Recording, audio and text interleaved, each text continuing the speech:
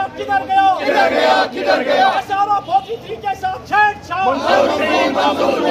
फौजी थ्री के साथ छेड़छाड़। नामंजूर नामंजूर एसआरओ 43 के नामंजूर गैर के किधर गया? जीपी फंड का पैसा किधर गया? किधर गया किधर गया? एसआरओ थ्री के साथ छेड़छाड़।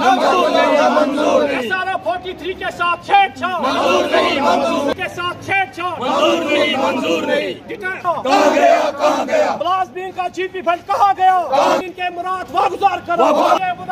वागुजार। करो जिंदाबाद जिंदाबाद। जिंदाबाद जिंदाबाद। जिंदाबाद। जीपी फंड का पैसा वागुजार करो। मंजूर नहीं मंजूर नहीं। S R O forty three के साथ छेड़छाड़। मंजूर नहीं मंजूर नहीं। इंकलाब ज़िंदा किधर गया? का पैसा किधर गया? किधर गया? किधर गया? गैर मुलाजमीन के को पता है कि एम्प्लॉय जॉइंट कंसल्टेटिव कमेटी रियासती मुलाजमीन की अमरेला ऑर्गेनाइजेशन और सारे महकमों में काम करने वाले लोगों की ये जमात है। आज प्रेस कॉलोनी में इसलिए एहतजाज करना पड़ा कि हमारा जो सर्विस क्लास मुलाजमीन का जी पी फंड है, वो तीन चार महीनों से ट्रेजरी में नहीं है। जब भी हम, हमारे जो ऑफ़िस के लोग जाते हैं, उनसे कहा जाता है कि अभी इस मद में पैसे है नहीं। हम सरकार से पूछना चाहेंगे कि ये हमारा जी पी फंड का पैसा आखिर गया कहाँ? जब अवेलेबल ही नहीं हम हर महीने काटते हैं तो पैसा हमारा किधर गया?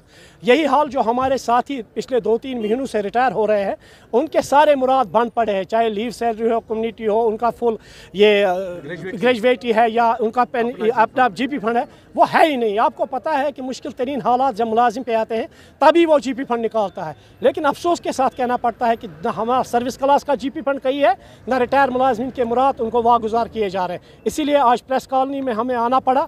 ताकि हमारी आवाज़ ऑनरेबल एल जी सिन्हा साहब तक पहुँच जाए और डॉक्टर अरुण कुमार मेहता साहब चीफ सेक्रेटरी साहब तक पहुँच पहुँच जाए। वो हमारे मामला को देखो और जल्द अज जल्द हमारा पैसा वागुजार कराए। और यही S R O forty three के बारे में रियासती मुलाजमीन की यही मांग है। उसके साथ कोई भी छेड़छाड़ रियासती मुलाजमीन को मंजूर नहीं है। और सरकारी महकमों में जितने भी डेलीवेजर्स हैं, उनको रेगुलराइज किया जाए। यही हमारी मांग है।